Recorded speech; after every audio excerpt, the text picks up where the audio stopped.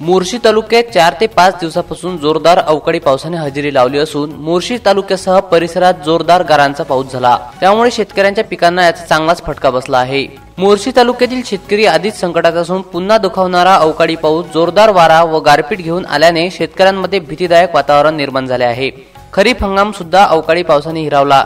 यात रब्बी पिकांना नुकसानकारक ठरणाऱ्या पावसाने सुरुवात केल्याने पिकांचे नुकसान होते की काय अशी भीती निर्माण झाली आहे. त्यामुळे शेतकऱ्यांच्या झालेल्या नुकसानीची पाहणी करण्याकरिता मोर्शीचे तहसीलदार सिद्धार्थ मोरे मंडळ अधिकारी खेरडे कृषी सहाय्यक दिनेश चौधरी यांच्यासह आमदार देवेंद्र भुयार यांनी झालेल्या नुकसानीची पाहणी केली.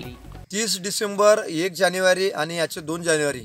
अवकाळी पावसामुळं प्रचंड विदर्भातल्या उरमोर्शी तालुक्यातल्या संत्रा उत्पादक कापूस उत्पादक शेतकऱ्याचं फार मोठं नुकसान झालेलं आहे.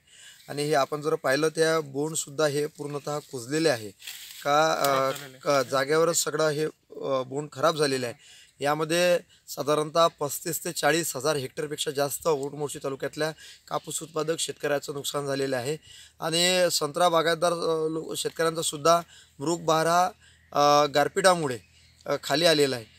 सरकारकडे या संदर्भात आम्ही विनंती आहे की तातडीनं सरकारनं लक्ष घालून महसूल डिपार्टमेंटनं त्याचे कृषी विभागानं पंचनामे करून मदत व पुनर्वसन खात्याकडे प्रस्ताव सादर तातडीनं सादर करा. या पद्धतीच्या मौखिक सूचना आम्ही कृषी आणि महसूल डिपार्टमेंटला दिलेल्या आहे. आणि त्यात त्यांनी तातडीनं कारवाईसुद्धा करणे चालू केलेलं आहे. परत राज्य आणि केंद्र सरकारकडनं एवढंच अपेक्षा आहे की झालेल्या नुकसानीचे पंचनामे लक्षात घेऊन त्वरित नुकसान भरपाई त्यांनी देण्यात यावी. नैसर्गिक आपत्तीमुळे झालेल्या नुकसानीचे पंचनामे जिल्हा प्रशासनाला सादर करून मदतीबाबत प्रस्ताव तसेच मदत व पुनर्वसन विभागाकडे सादर करावा अशा सूचना आमदार देवेंद्र भुयार यांनी प्रशासनाला केल्या आहेत.